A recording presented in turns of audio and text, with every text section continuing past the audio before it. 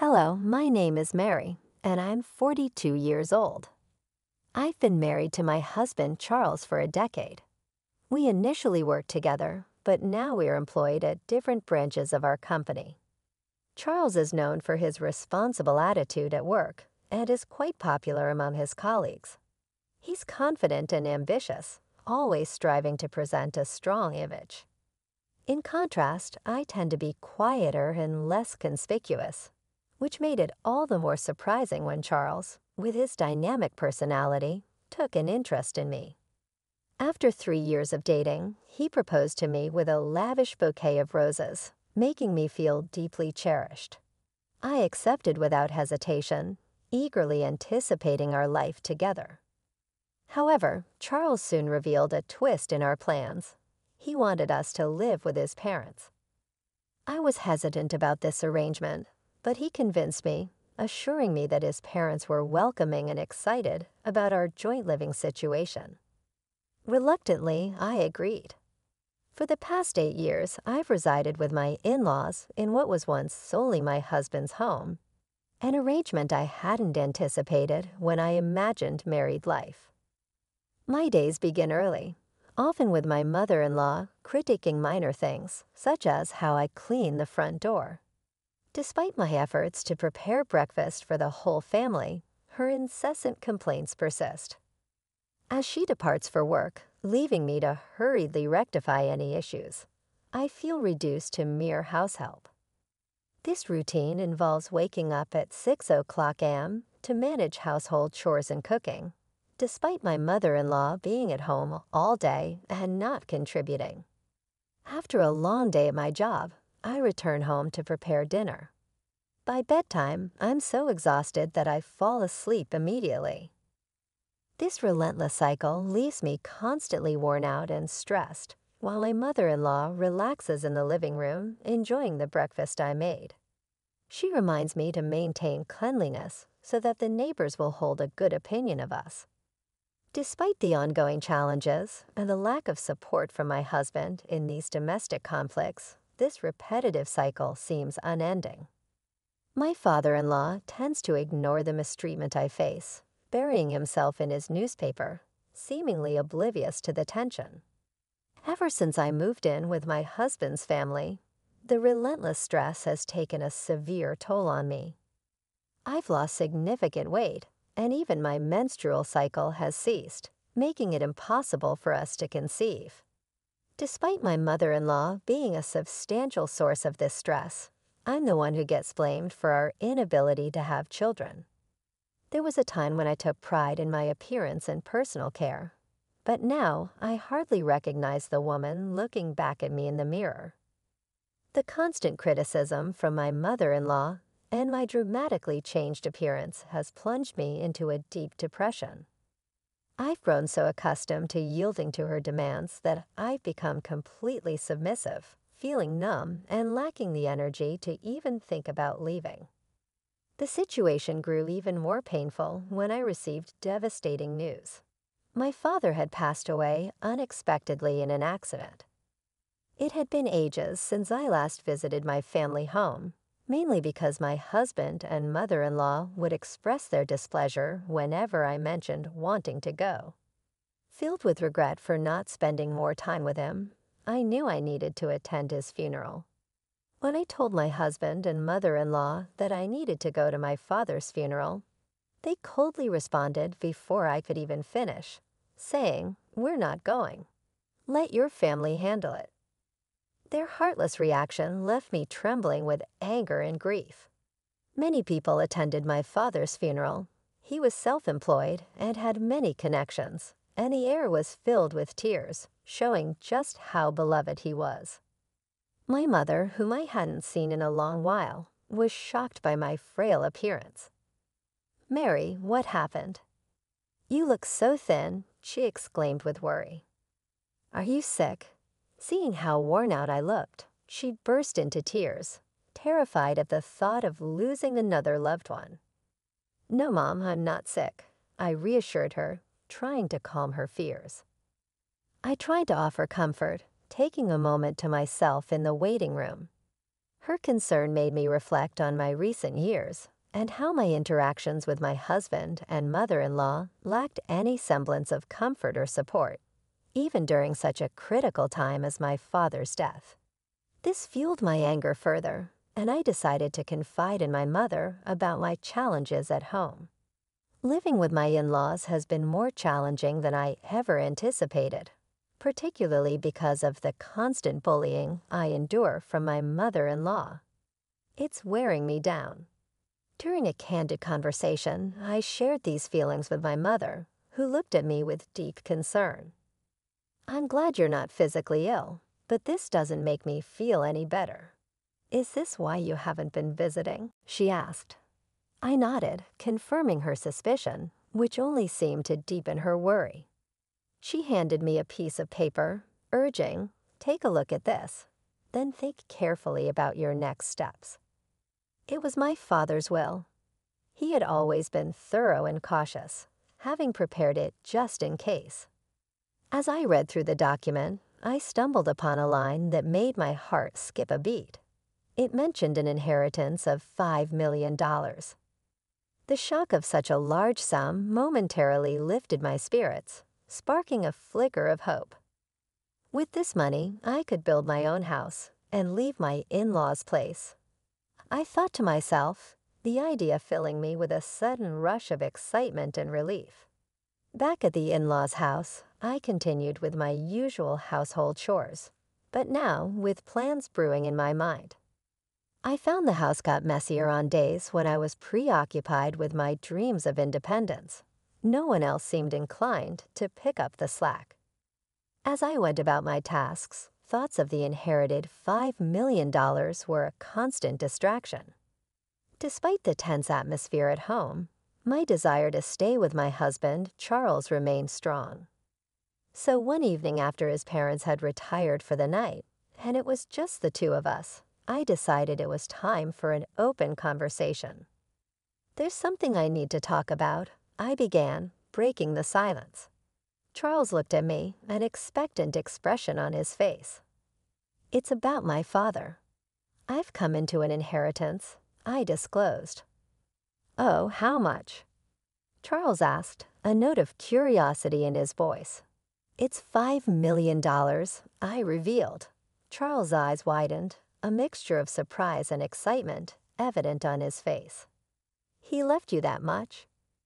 That's incredibly generous, he commented, then paused, his tone shifting as he added, We should discuss how we might use this money. I felt a surge of relief that Charles seemed receptive, and I was ready to broach the main issue at hand. This was the moment I had been waiting for to discuss our future and the possibility of moving out from under the oppressive shadow of my in laws. But before I could voice my ideas about using the inheritance to build our own home, Charles interjected with a shocking suggestion. We need to transfer that money to my mom's bank account right away, he declared. I was stunned, thinking he must be joking. Why would we do that? The inheritance is mine, so it wouldn't be right to give it to your mom. I responded with a laugh, hoping he was just teasing. Charles's reaction was immediate and fierce as he slammed his hand on the table. What are you talking about? A wife's money belongs to her mother-in-law, he exclaimed. His words were so outlandish that I struggled to believe he was serious. His stern expression sent a chill through me. I'm sorry, but I don't understand, I replied, bewildered.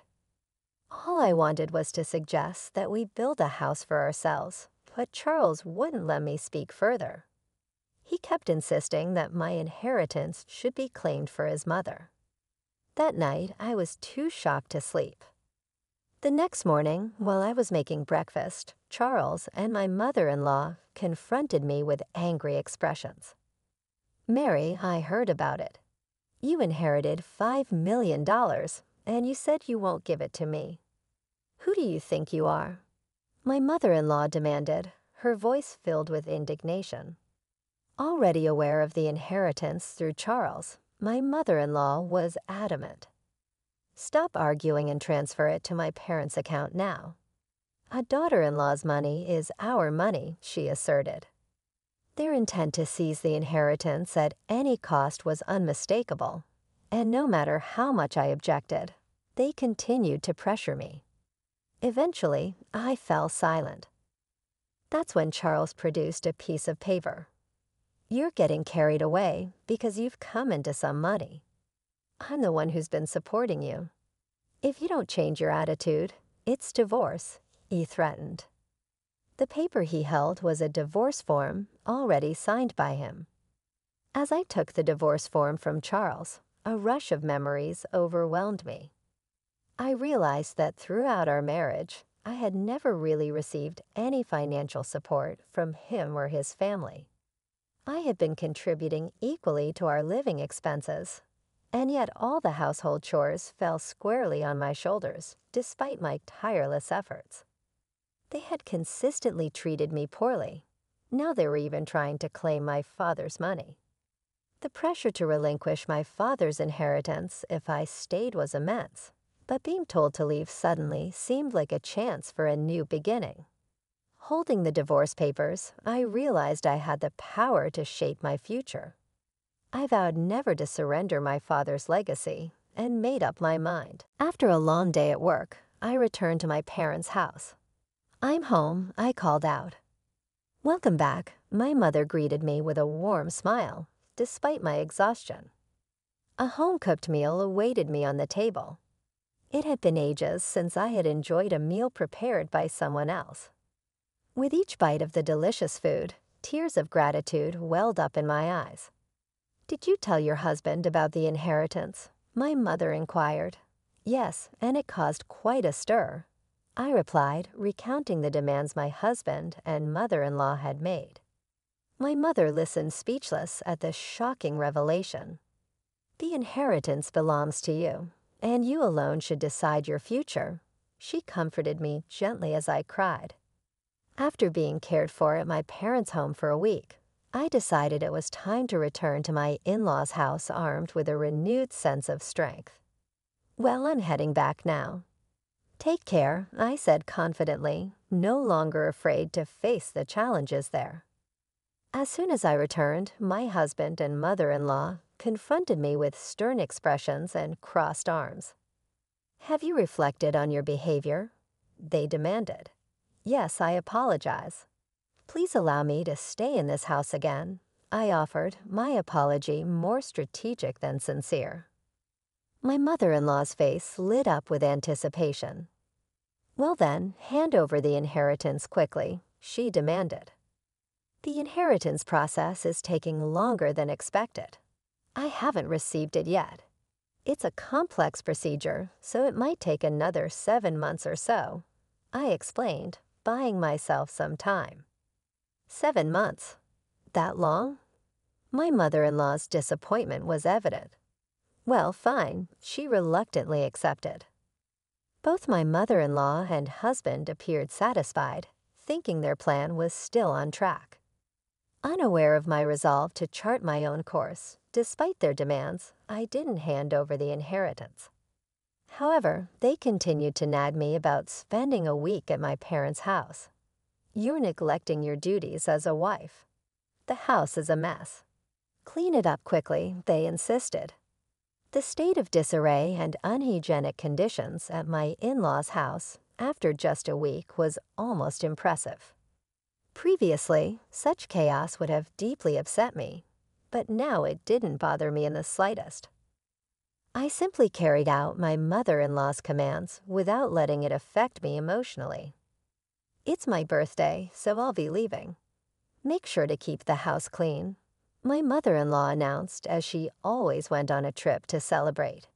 Naturally, I wasn't invited. By the way, have you received the inheritance yet?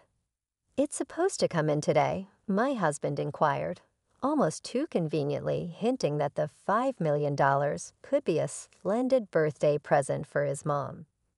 Don't forget to transfer it to mom's account before we get back, my mother-in-law added. The timing of her birthday, coinciding with the supposed arrival of the inheritance, felt too perfect. As they left, I maintained a pleasant facade.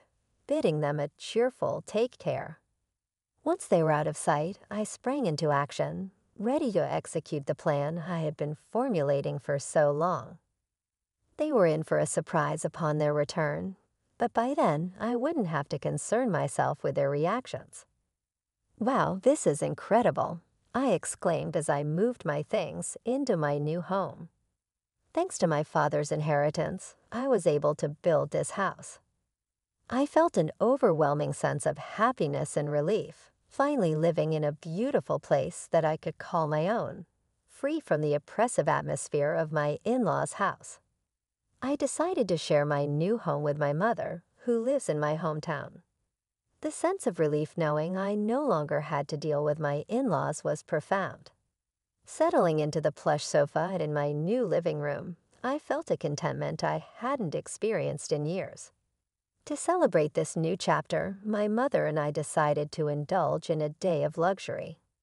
We even hired a chef to cook for us, making the day truly special. The next evening, my phone rang.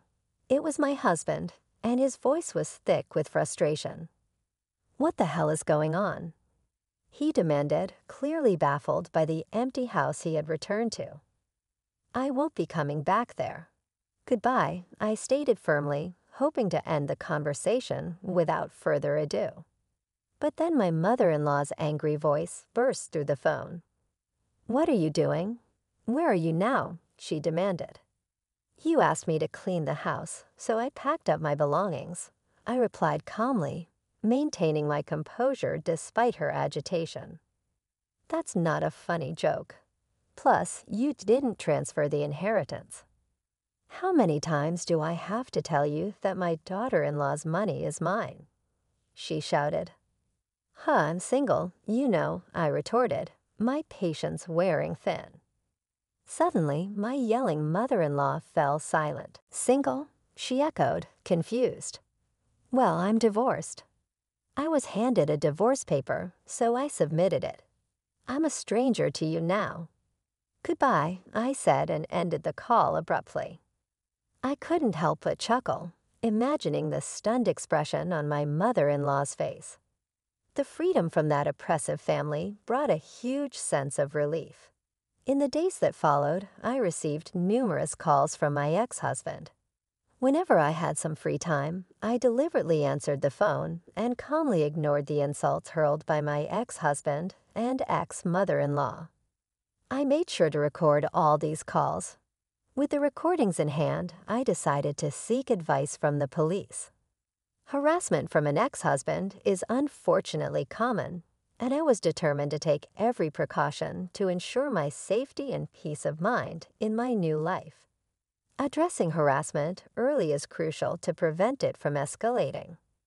Thankfully, when I approached the police with my concerns, they acted promptly and visited my ex-husband's family. For my ex-in-laws, who were deeply concerned with maintaining a pristine public image, just the sight of police at their doorstep was a significant blow. Additionally, a colleague of my ex-husband, who lived nearby, saw the police visit. Given my ex-husband's high-profile status in the company, word of this incident spread quickly. Colleagues who harbored resentment towards him didn't miss the opportunity to fuel the rumor mill, and soon enough, negative gossip began circulating about him. Eventually, the rumors reached my department. Did you hear about the police visit? My colleagues whispered among themselves. I'm divorced now, so I'm not really in the loop. I responded loudly enough for others to hear. The gossip loving employees eagerly spread the news further. It didn't take long for the rumor to make its way to my ex husband's boss. You've been the subject of a lot of negative rumors, haven't you? His boss remarked during a tense meeting. My ex husband, caught off guard, could only protest. What are you talking about? I can't tolerate men who don't appreciate their wives, his boss continued. Furthermore, with these damaging rumors circulating, it could tarnish our company's reputation. Therefore, I've decided to transfer you. The transfer order issued to my ex husband was severe. a relocation to a branch office in the least productive region, likened by some to a deserted island. Do you understand what this means? His boss added, Everything my ex husband had worked for up to that point crumbled. There was no hope of advancement in the foreseeable future. With no option to decline, he had to relocate to this remote area. As for my ex mother in law, she was likely taken aback by her son's suddenly tarnished reputation and the dramatic changes that followed. Following the upheaval, my ex mother in law struggled to cope with the new reality that she could no longer live with her son. This isolation led her to become withdrawn, and over time, she developed symptoms of depression. Concerns about her mental health grew as she began exhibiting behaviors typical of dementia, often causing disturbances at home. My ex father in law found himself in a challenging position, now the primary caregiver for his significantly changed wife. Despite the strained relations, he often lamented, even without blood ties, a daughter in law is still a valuable member of the family. The difficulties faced by my former in laws seemed almost like a form of caricature retribution for the way they had treated me. Meanwhile, my life took a happier turn. Now, living with my mother, we've taken up gardening in our spacious backyard. This new hobby has brought me immense joy and satisfaction, something I might never have discovered had I remained in that oppressive household. Gardening has not only revitalized my spirit, but also improved my physical health, which had previously deteriorated under the stress of living with my in laws. I am grateful every day that I made the decision to sever ties with them and have since found true happiness and peace in my new life with my mother.